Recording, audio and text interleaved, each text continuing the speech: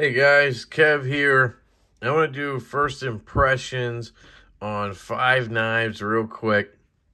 Um, these were all loaned into me by Backpack B. Big shout out to Brent over there. He also loaned in this knife. I don't even know what it's called. The Real Steel something. Um, I just don't, I, I'm not into this knife. I just didn't have enough interest to even really review it, so I'm putting it over there. Um, but I want to talk about these knives. I have the Artisan Knives Sirius. I plan on doing a full review on that guy. I have the Kizer Cormorant. I have the Real Steel Rokot. I have the Real Steel Phasma, like budget version. And I have, at least I think it is, a budget version. Maybe not. And I have the Real Steel Luna Boost. I believe it's called the Luna Boost. This one I could be wrong about the name. I haven't looked any of these up yet, but I wanted to knock these out. Um, so yeah, let's get into it. Let's just go in order of what I said, or I'll try to remember what I said. This is the Artisan Knives uh, Sirius, and this is a cool knife. It's a Ray Laconico design. Does it have Laconico somewhere? Here, we can zoom in, do the overview real quick, and we can look at that. So you have this green micarta with the fuller, which is very uh, Laconico-esque. You have T6 screws, which sucks. Looks like a little bit of rusting in there, in the screw. Um, oh, that would have been a better idea. There you go. There's that fuller. Here's your cutout, your lock bar access. You have the pivot with a little bit of a collar. This comes in a bunch of variations. G10 with copper pivot collar and AR RPM 9. This is S35 with micarta. There's one with, I think, titanium. There might be a carbon fiber. It might be M390. So a lot of different variants. You have one thumb stud. And then you have this S35VN satin blade. I love that Artisan does a lot of satin. Um, on this side, you have the serial number 1849P and S35VN. There's that beautiful swedge. Again, Laconico. He does such simple elegance. There's China right there. Gotta let you know. And you have a titanium clip, which is not reversible, which kind of sucks. Uh, here is your liner lock. Inset liner lock lockup is very good right there. Very good. There's the spine. And we have Artisan Cutlery R. Laconico lanyard post for y'all fools out there. And that is an overview of that knife, or deep close-up, whatever you want to call it. This one right here is a little off to the clip side, I'd say, on centering, but very, very close. And what do I think of this? So, you have a thumb stud only for deployment, or I should say right-hand thumb stud only, and then a front flipper. It works excellent as a thumb stud for righties. Very strong, not very strong, very good detent. Strong is in good. Um, detent, I will say the lock bar access is kind of annoying. Trying to get your finger in that little hole. That's what he said. Um, I don't know. I, I, I don't like it when they do that on knives just because I have... I don't even think I have a fat thumb, but like I guess you could come at it without even going in there. Also what he said. But I don't know. I just wish it was a little more cut out. I get it. It's for looks, but it's kind of dumb. Front flipper right-handed works excellent. Again, detent style. Jimping's excellent. Comes out pretty good. Left-handed, you can reverse flick it with that one thumb stud, and it is freaking beautiful, guys. What would you rather have? Riddle me this, people. Would you rather have the um, ability to reverse flick and front flip or thumb stud and front flip because I would much rather be able to do the reverse flick every time than do a thumb stud, even though it is satisfying. So for you guys who love that, there you go, you have it. But I get a reverse flick and it's awesome. And then the access left-handed is good too. You just get in there. You don't even have to worry about going through here. You can, but you just kind of go like that. It works great. And the front flipper works great. I've gotten used to it since the unboxing. Ergonomics is where this knife is a little bit short for me. Uh, comes up a little bit short. It just doesn't, it's just kind of boxy feeling. it's almost like it's a little too long. Like if they cut it here, then I feel like it would just feel more comfortable. I'm feeling all this down here against my palm. And I don't know, it's just not that comfortable. You could hold it pretty much anywhere. It's very neutral. I like that, but I don't know. It's fine. You know, it's good. Just not excellent or anything. The jimping is basically useless. It's only for the front flipper anyway. Very clean up here. It feels good. And then you have this very sharp S35VN blade. Comes to a thin edge. They did an excellent job with this knife. I really like it. That is the Sirius. And we have the Cormorant from Kizer.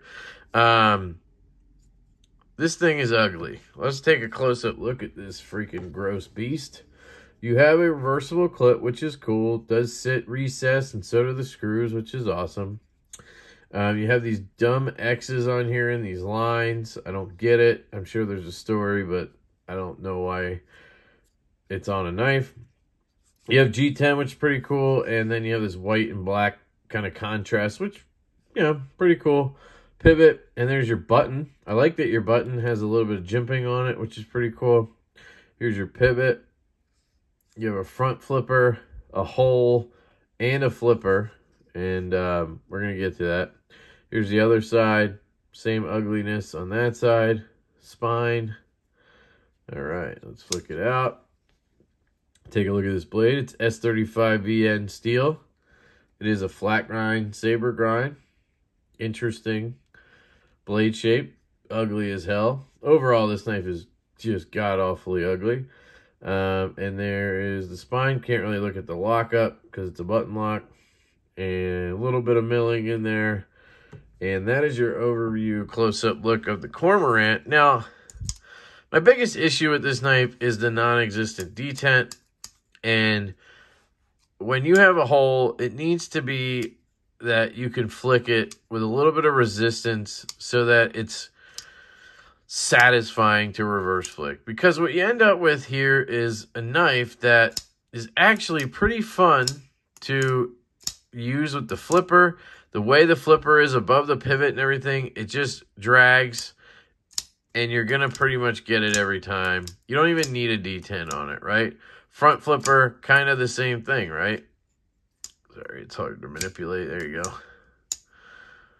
Flies around and you're good to go. Thumb, kind of the same thing. You're just pushing forward, giving it enough gas, and it's flying out. But the reverse flick, you just have to have a little bit of build up pressure. Yes, I can sit here and routinely get it. That's not the problem.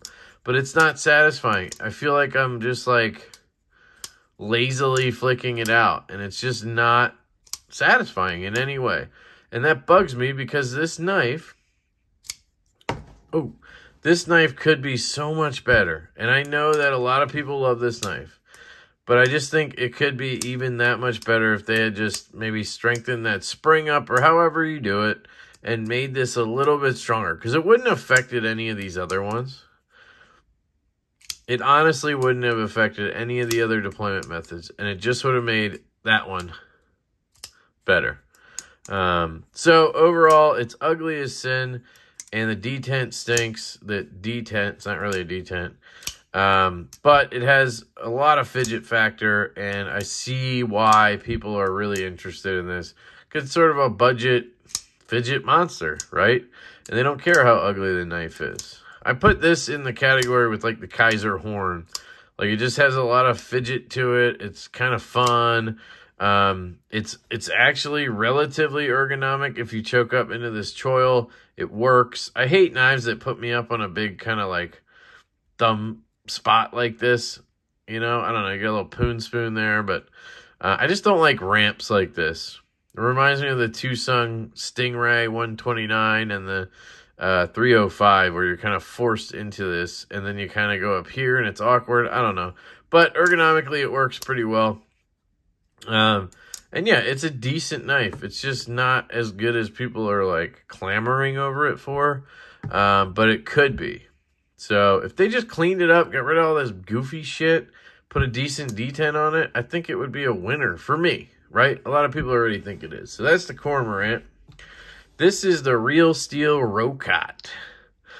Um, and again, guys, big shout out to Backpack B for loaning these in to me. Um, go check out his channel, please. He is making some amazing content. Look at that floating backspace there. Let's take a close-up look at this bad boy.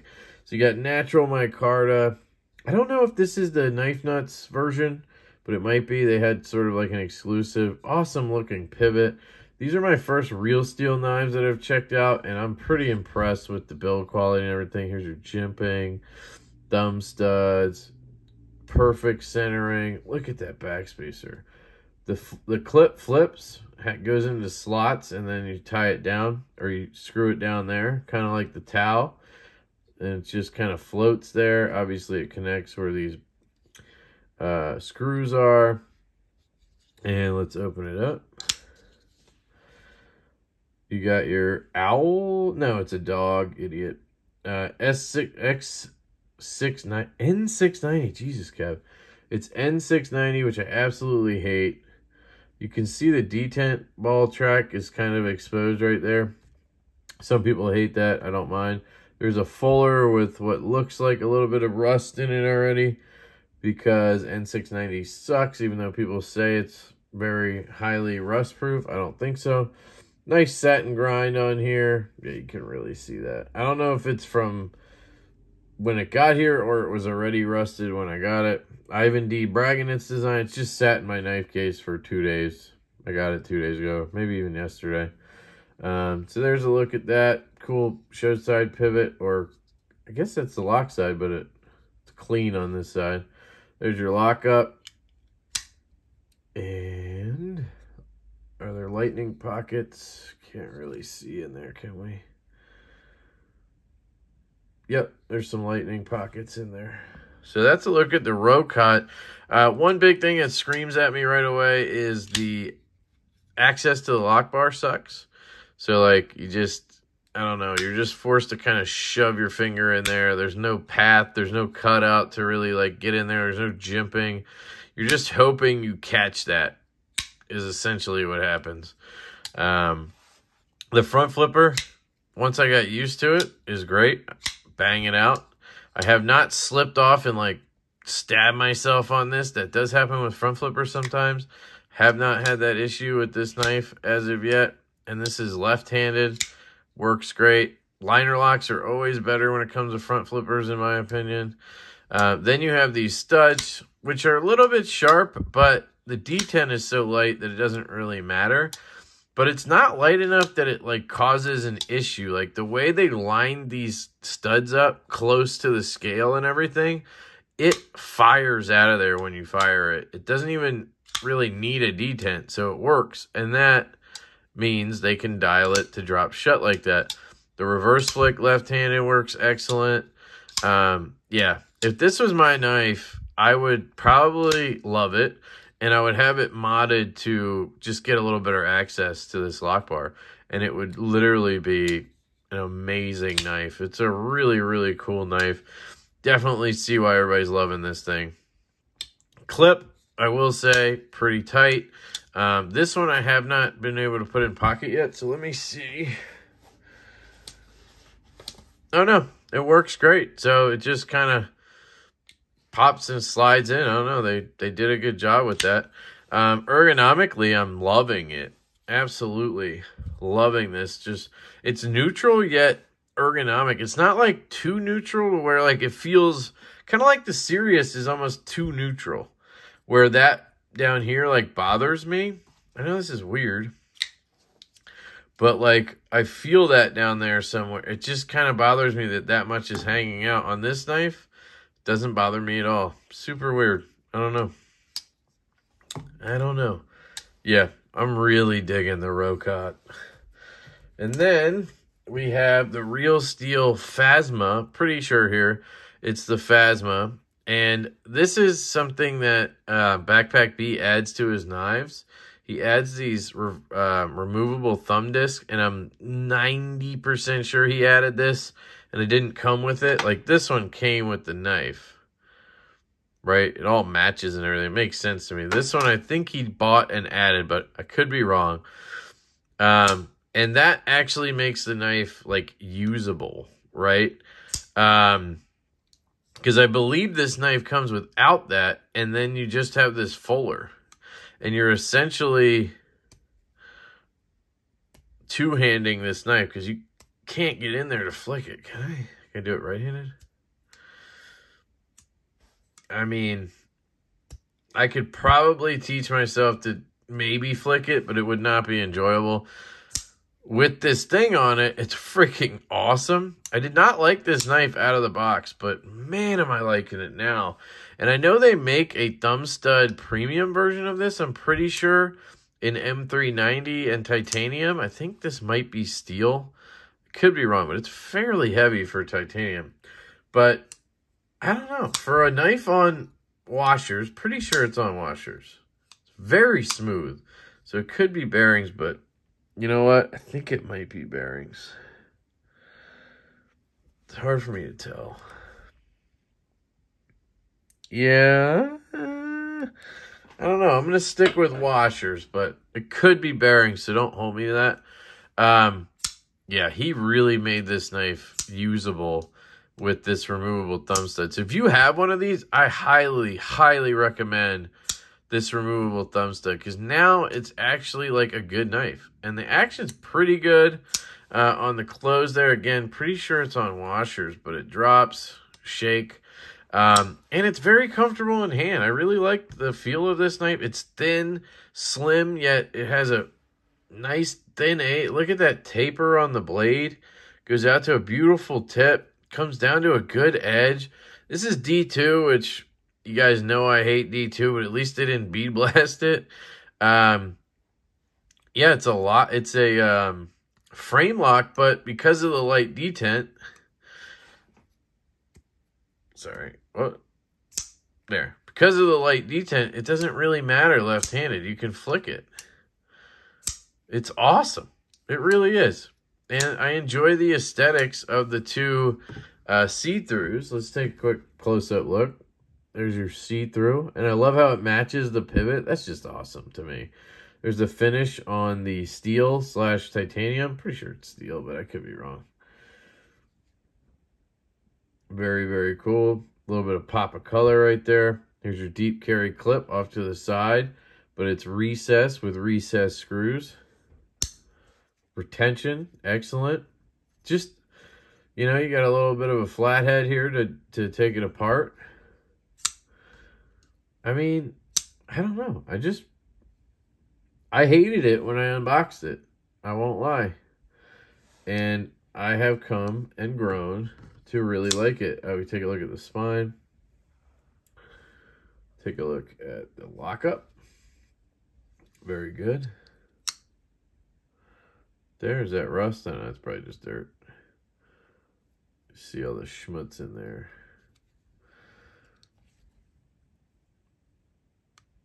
There's your detent. And yeah, I don't know. I just, I've enjoyed it. I like the access to the lock bar. They cut this out right here. And look at that. You have that little chamfer in there. And it just is beautiful to get your thumb in. No freaking pressure required. Just really disengages right away. Um, no stick of any kind. It's beautiful. Beautiful disengagement. Beautiful actuation. Man, this removable thumb stud just changes this knife for the better. So that's a cool one. That's the Phasma. Then we have what I'm pretty sure is the Luna Boost or something like that, or Turbo. Um, and this is like a really small little guy and not really my bag, so to speak. You have a one-sided clip. At least I'm pretty sure. Yep. See, there's a little slot up here, and there's not on this side. Um, it is titanium, pretty sure, because it's light. And you have that little thumb study thing. Um, again, could be washers, could be bearings. It's not relatively smooth. Um, it's tight, so it's not, you know, flying out of there. Detent's very light again. You know, that's me flicking a little bit. um, yeah, I love this pivot design on this guy. It's just really cool it, it's actually like concaved or whatever in there. Um, there's your hardware. It all matches this kind of gold bronze look. If you give it the gas, it does shoot out of there. I mean, okay, pardon me. You just got to give it the thunk. Left-handed, it's actually better because I'm putting pressure on this detent ball. I'm making the detent stronger, and then when it pops, it really flies out.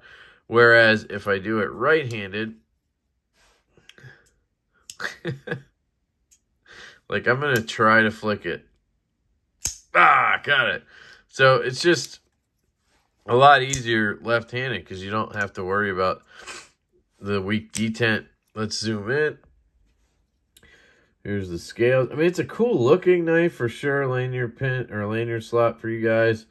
Um, nice kind of PVD dark wash blade or whatever. There is a fuller. Um, and then they added this stud. I think possibly this was a slip joint before. So this one is in probably my favorite steel N690. Yep. 002. I don't know if this is number two of something. That's pretty cool. Um, your lockup is good. Actually, seems pretty late. Eh, it's alright. It's a very thin knife, right? Definitely has some lightning pockets because it feels super light. And that clip is pretty cool how small it is. Good retention and everything. Um, yeah, so I'm pretty sure this is a slip joint to start with. And then they call it the booster, the turbo, because they added this thumb stud. That's my theory on this. So it used to be that you would just, I guess, grab here like this. It's kind of like a nail Nicky Fuller thing and pull it out. And they added that, so now it has the ability to be flicked, right? So it's basically like taking it from a European design to an American market design by adding the ability to flick, right? That's my theory. Um, it actually fits really good in my hand, and for being such a small knife, I really like the ergos a lot. Um, it does have a really thin blade, slicey edge, so I mean it feels super thin. So for a knife, this is probably a really good little, you know, like backup knife or something. So I could see why Backpack B would like it. Um, just not as like a primary knife and not really as like a fidgety type knife, but you know, knives have different purposes and not all of them are for me, right? I've learned that. So that's the Real Steel Luna Turbo Boost, whatever you want to call it. Uh, and that's a quick look at five knives. Luna, Turbo, or whatever. Rokot, Phasma, pimped out by Backpack B. Cormorant, and the Sirius from Artisan. And then I kind of showed this thing I don't know the name of that I just, I just don't like it. It's like on washers, I'm pretty sure, and it has a shit detent, barely locks up, steel liners, absolutely no action. It's just, this has no redeeming quality to me. It's heavy as fuck. Um, these all have some kind of redeeming quality. You know what I mean? This is a cool knife. That's a really cool knife that could be a really awesome knife. This is awesome with the thumb stud thing on it, and this is a cool little backup knife. That I have no desire to care about, so that's just my take on it. I'll probably do full reviews on some of these. I may just do rapid reviews on them. I may not because, you know what? I just spent 25 minutes on this, so I may just do the Sirius and the Rokot and call it a day on these other four if they come out with a better version of this, I'm going to be on it. Um, this one, I'm intrigued by, man. I don't know what it is. There's just something that I really like about this. And I kind of want to try the premium thumb stud Phasma now. Uh, I am, yeah, I'm kind of interested in that. This, you know, eh, I could never see this again in my life and I wouldn't care. But I get it. And this is trash, in my opinion. So, there you go, guys. I love you all. Go check out Backpack B. Please go check out Backpack B. Link is below. If you guys want t-shirts, I have the Detent collection is now set up on Teespring. T-shirts, hoodies, women's tank tops, pillows, and I even threw in a pint glass with the Detent Diva logo on it. All the other stuff is got Detent. Uh, if you guys are interested, you can go buy the shirt right on the Teespring. Link below. Patreon link below if you want to join that. Really would appreciate that, of course. I, I think I'm setting up the members here on YouTube, too, if anybody's interested. And then, of course, all my affiliate links are down there if you guys want to pick anything up. I only recommend stuff that I actually like myself, so you can shop safely wherever that is. Obviously, I can't tell you what knife to buy at White Mountain, but, um, you know, you can always watch my review on whatever you're thinking about picking up. Hit me up in the comments if you have questions, if you want to tell me I'm a shithead. Um, you know, whatever you want to do, guys. I love you. I appreciate all the support. I appreciate everything. You guys are the shit. You are the shit. And I will catch you later.